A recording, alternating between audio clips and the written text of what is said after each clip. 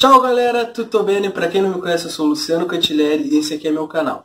Se você não é inscrito ainda ou não é uma inscrita, se inscreva agora no canal, deixe seu like, compartilha o vídeo se você gostar da receita. E hoje a gente vai fazer uma receita muito fácil e muito saborosa, que é... Pó de camarão. Então, gente, a primeira coisa que vocês vão fazer aqui, ó, botar o aipim para cozinhar. Aipim cozido, pode ser aipim ou batata baroa. Eu até aconselho mais a fazer com batata baroa, porque o aipim existe a possibilidade de vocês comprarem um de má qualidade e ele ficar muito duro.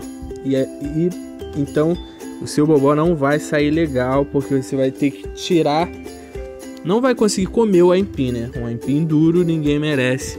O gosto fica muito ruim, fica amargo, então precisa ser um aipim de boa qualidade. Vocês vão fazer: colocaram ele para cozinhar com um pouquinho de sal, tira, bota para escorrer e vamos para o preparo do camarão. Vocês peguem um azeite de ótima qualidade. Aqui eu tô colocando galo, que é o que eu mais gosto. Ah, Luciano, mas o bobó de camarão não tem que ser feito com a o azeite de dendê?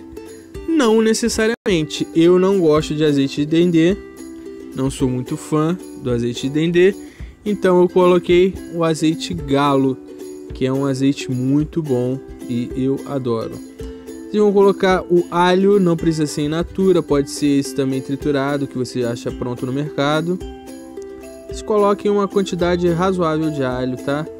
Vocês vão vendo aí as porções que eu vou colocando e vocês podem seguir passo a passo porque fica muito gostoso também com essas medidas que eu coloquei, tá? Não são nem medidas exatas e tal. Aí eu piquei uma cebola grande inteira então dá para bastante coisa, né? Uma cebola grande inteira. O alho, vocês vão colocar o azeite e vão refogar por um tempinho.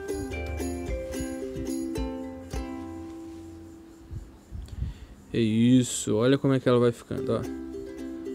Tá no fogo baixo, tá, galera? Porque ele precisa ficar bem douradinho, bem coradinho e não pode queimar. Então, ó. Vai mexendo, mexendo, daqui a pouco ele fica pronto. Olha, gente, ainda tá refogando, tá vendo? Mas já tá começando a ficar bem douradinho. Então o que, que eu vou fazer agora? Vou acrescentar alguns temperos. Açafrão da terra.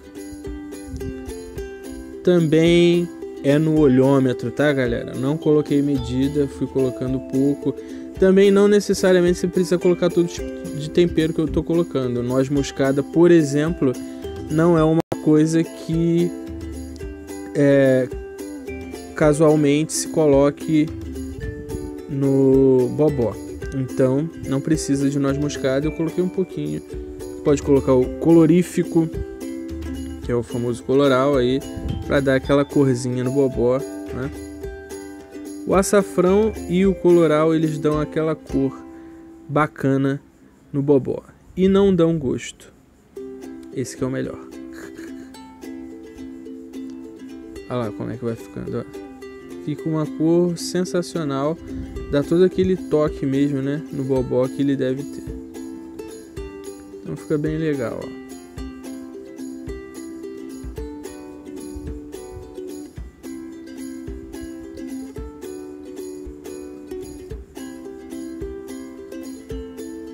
O camarão, galera, ele precisa estar tá limpinho assim, ó, tá vendo?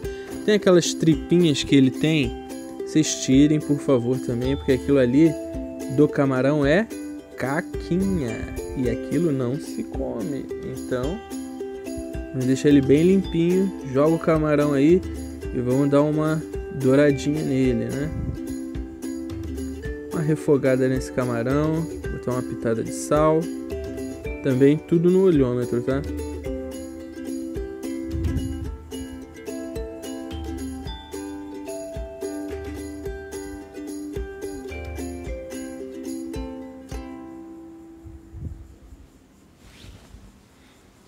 Nossa, gente, dá vontade de comer ele assim, sem estar tá preparado ainda, porque fica muito bonito, né?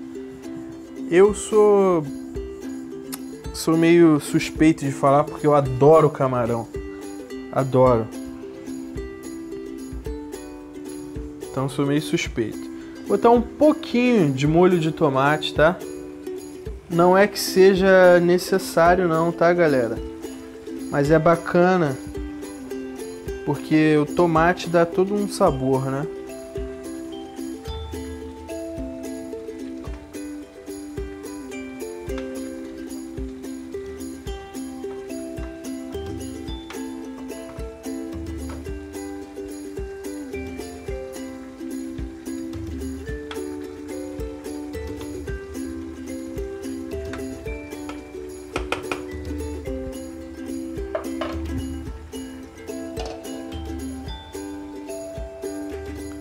Colocar um pouquinho de manjericão, também é a gosto, tá? Você não precisa colocar manjericão se você não gosta.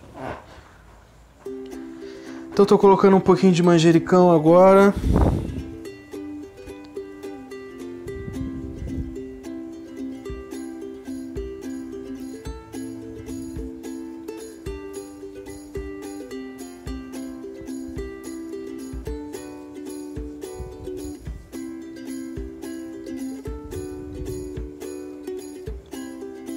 Orégano, vai um pouquinho também. Lembrando que esse é um bobó de camarão que eu costumo fazer. Então não adianta você vir aí nos comentários e falar: "Ah, mas não é assim que se faz bobó de camarão". Não é assim a receita original, mas a minha vai tudo isso que eu tô colocando aqui. Beleza? Ou não, às vezes também eu não faço com esses temperos, faço com algum, algum outro tempero mas fica gostoso igualmente. Igualmente, é muito bom. Eu adoro bobó de camarão.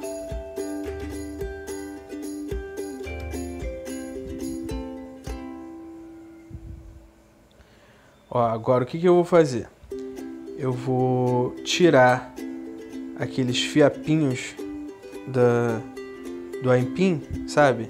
Esses que ficam dentro assim tirar ele. Ó. Tem muitos. E tem, tem alguns empins aqui que estão duros também. O bobó ele não presta se o aipim tiver duro. Então presta muita atenção no aipim quando você for comprar, tá? Ele precisa ser aquele aipim molinho que você vai cozinhar rápido e ele vai ficar desmanchando os duros não prestam. Então você tira todo esse fiapinho do aipim, beleza? Você vai. É chato. O que, que a gente vai fazer agora? Ó? Vou pegar o aipim que já tirei tudo, todos os fiapinhos agora, estou espremendo ele. Pode ser tanto no amassador de batata, como você pode fazer manualmente também, um socador, ou você mesmo com, com o garfo ou com a colher e espremendo esse esse aipim que ele precisa virar tipo uma pastinha, um purezinho, não é? Pra gente acrescentar ao camarão e finalizar o nosso bobó. Então a gente tira aqui, ó, tudo direitinho. É, não vamos deixar sobra não. E aí, o que a gente faz agora? Joga uma pitadinha de sal para temperar o aipim, jogou a pitadinha, mais um pouquinho. E vamos mexer esse purezinho aqui de aipim.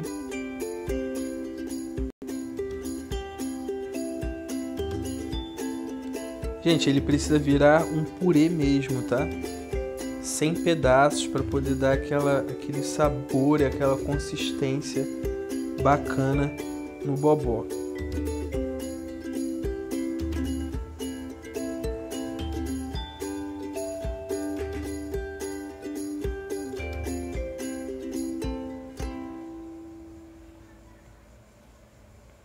a gente volta aqui pro fogo. O camarão. Ele tava de lado aqui, agora eu botei ele aqui de volta. E vamos acrescentar o purê.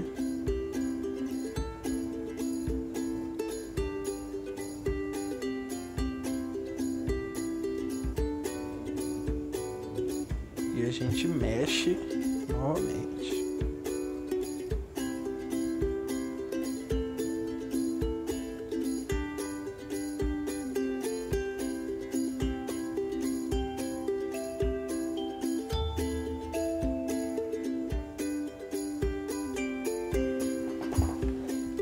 Misturada aqui no purê e no camarão.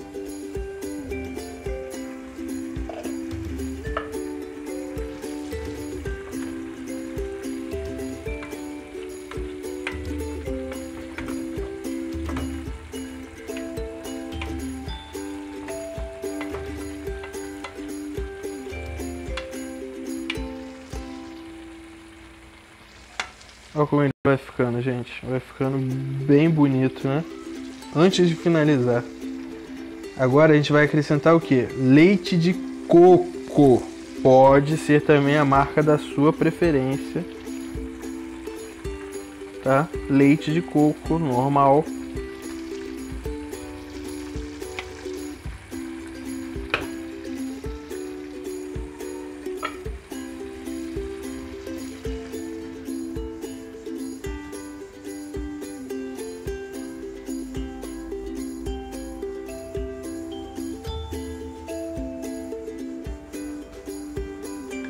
Botei um pouquinho d'água nesse leite de coco e vou despejar. Tem gente que gosta de, do bobó mais aguado, então bota mais um pouquinho de leite de coco. Se você tiver uma outra garrafinha, você bota metade ou ela inteira também de leite de coco. Eu não gosto muito do, daquele gosto muito forte do coco no bobó, mas para quem gosta também é igual o azeite de dendê. Quem gosta de azeite de dendê usa o azeite de dendê, não precisa ser azeite normal. A cor, gente, é excepcional. Olha isso, cara. Fica uma cor muito bonita, muito bonita mesmo. Fora o sabor, né? a gente vai colocar agora o cheiro verde, ó. Salsinha, cebolinha, raladinha, picadinha. A gente joga tudo aí dentro. Essa salsinha e essa cebolinha eu congelei, tá, gente? Eu congelei, deixei ela bem picadinha e agora eu tô jogando ela aqui dentro, descongelada já. É, gente, tá difícil de segurar cozinhando. Quando isso estiver pronto, meu Deus do céu. Que delícia. Acho que eu vou comer uns dois pratos. É hoje.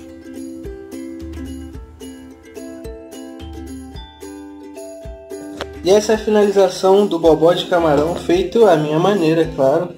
Olha como ele fica. O prato fica muito bonito. E garanto para vocês que também fica muito saboroso. É, uma dica que eu vou dar é vocês escolherem é, um aipim, é, né, ou mandioca, é a mesma coisa, de boa qualidade. Tem que ser aquele bem branquinho, sabe, para não ficar duro. Ou façam com batata baroa. É isso. Para quem gostou da receita e é inscrito no canal, já deixe seu like, compartilhe o vídeo. Quem não é, faça a mesma coisa que eu vou te agradecer da mesma maneira. Um bate a tutti e tchau. Até o próximo vídeo.